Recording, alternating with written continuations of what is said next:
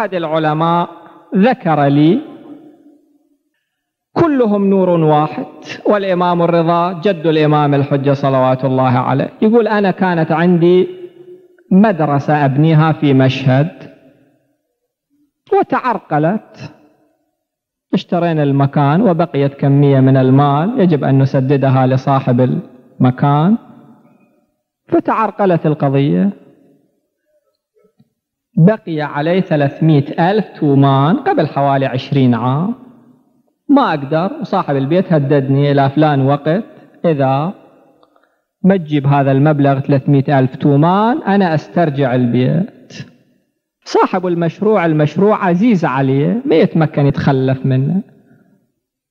فيقول أنا كنت متحير مضطرب ويا أي واحد تتكلم ما يتقبل. واحد لازم يريق ماء وجهه.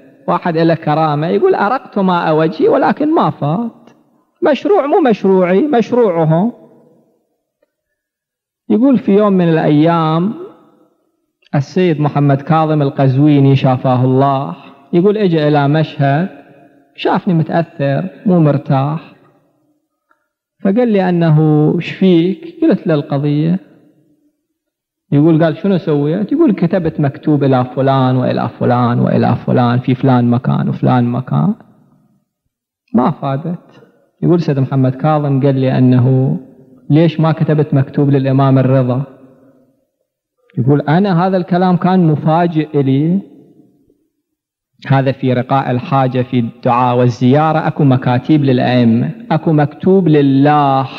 إلى الله الديان. أنت تكتب مكتوب إلى الله. مكتوب للإمام الحجة. اكتب للإمام الرضا. يقول قام يتكلم وياي وشفت إيه حقيقة. ليش أكتب إلى فلان وفلان؟ وهؤلاء هم المصادر. فيقول أنا كتبت للإمام الرضا صلوات الله عليه. هذا المشروع مو مشروعي هذا مشروعكم. تحبون سووا وأنا في انتظار لطفكم وذهبت إلى الإمام الرضا صلوات الله عليه وألقيت بذلك المكتوب في الضريح. ما أتذكر العالم موجود الآن ما أدري نفس اليوم بكرة يقول واحد خابرني من فلان مكان قال لي أنه فلان واحد اللي لم يكن في بالي أبدا. تبرع لهذا المشروع بثلاثمائة ألف تومان شنو أسوي بهذا المال؟